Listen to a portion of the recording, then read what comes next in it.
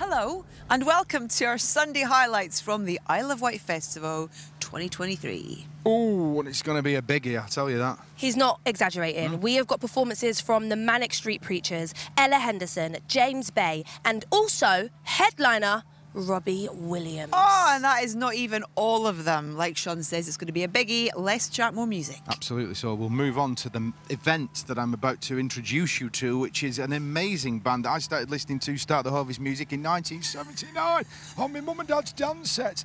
They are the Peerless Blondie.